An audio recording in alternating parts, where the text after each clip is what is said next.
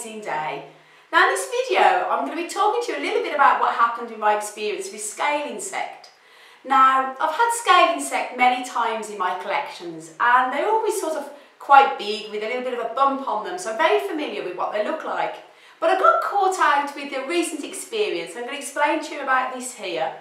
Uh, a few days ago I bought a lovely cactus from a wonderful garden centre and when I was looking at it, obviously I've got good eyesight and I always check plants I'm buying for bugs and rot and things like that. And I'm going to be making a future video in the coming weeks on what to look for when buying cactus and succulent plants. So look out for that video guys. And obviously I examine every plant I'm picking up and buying. And I looked at this one and this one here was labelled Cactus Lucky. Obviously there's no such thing as cactus lucky in a lot of garden centres unfortunately don't label the correct labelling on them. Luckily I'm, I'm, quite experienced with cactus plants so I've got an idea what type of genus they are even if I don't know the exact variety. And I knew that this cactus was obviously some type of echinopsis, obviously an echinopsis hybrid. Now because there's so many hybrids now on the market with all types of plants, a lot of no IDs, um, I just thought that this was obviously a hybrid that had been crossed with many other, many other types of, even other echinopsis or another cactus. And the reason why I thought that is because on the skin, it's covered with absolutely lots of tiny little markings all over it, little tiny cream coloured markings. And the speckling is almost identical to what you see on quite a few other types of cactus plants, such as Astrophytum, most commonly with Astrophytum asterias and also Astrophytum ornatum. And as you show, this is my Astrophytum ornatum here. And that has lots of like tiny little white sort of speckles all over it. Very, very similar with the markings. This is just down to um, how these plants actually look. They're very pretty. Gorgeous actually with all the speckling on them.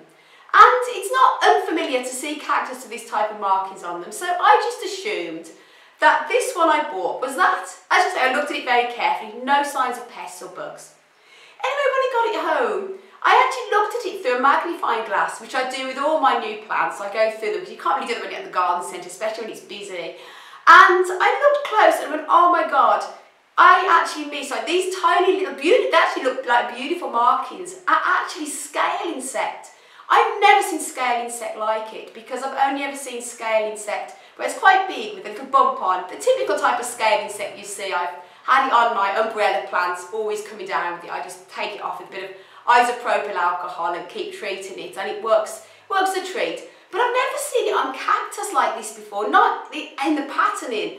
So obviously now I found that this plant has got it, which was disappointing, but I was more disappointed it's not some type of rare type of Echinopsis variety than anything else. Because to be honest, when it comes to scale, I find it quite easy to treat. And what I'm going to be doing in this video is I'm going to be showing you how I am going to treat this plant and how I'm going to eliminate the scale insect. And if you have that on your cactus plants or your succulents too, how you can also easily get rid of it too. And I'm going to show you what I'm going to be doing. Now guys, what I'm going to be doing, I like to use isopropyl alcohol, also known as rubbing alcohol, and it's brilliant for getting rid of bugs on your plants and it's a lot of a safer method than using a lot of the um, pesticides and insecticides that can be harmful. And um, this one is 100%, but you can I recommend one getting at least at 70%. And what I do with these type of cacti, um, because they're thick-skinned, I use it neat.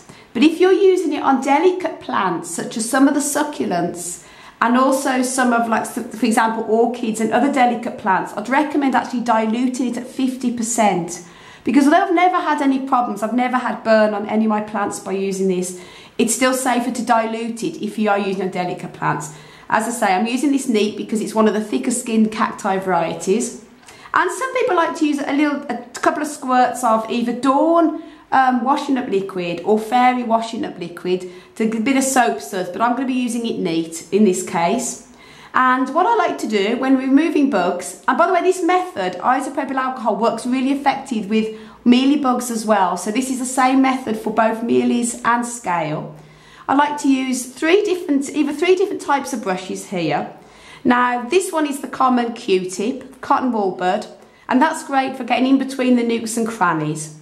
I'm not going to be using it on this occasion with this cactus because it's spiny. Some of the little fibres tend to get on get onto the um, the spines, but it's great to use with succulents, so that's always handy, a Q-tip. The next one is a um, eye makeup, um, eye mascara brush, and you can actually get these in chemists if you ask behind the counter.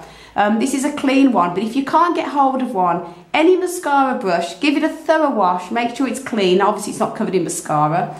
And it's great then for getting in between the nooks and crannies with all them difficult to reach um, areas of plants, especially with mammillaria cacti because they're covered in spines.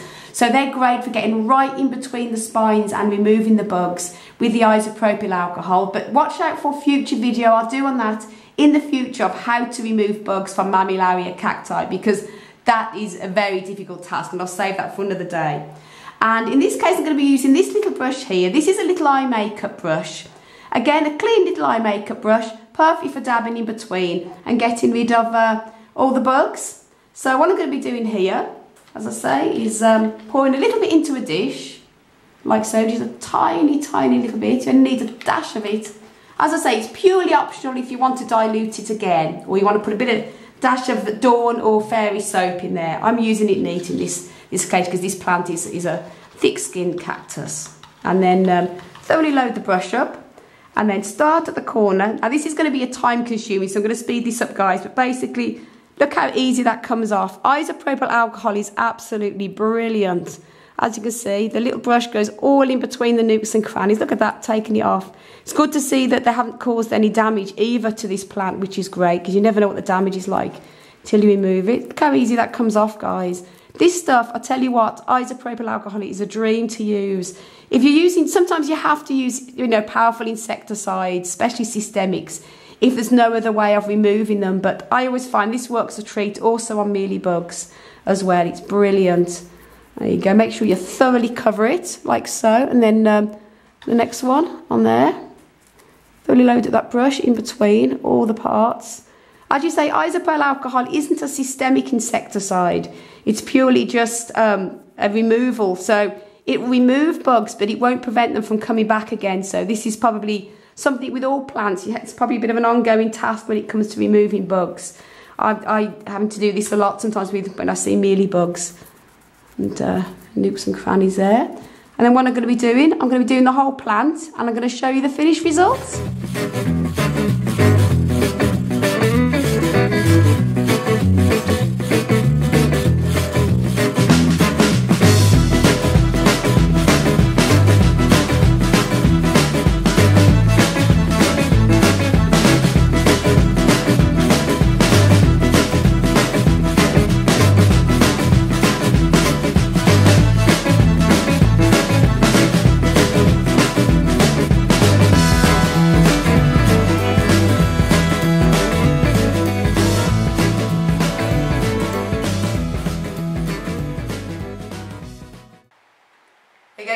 That's the finished result, all done.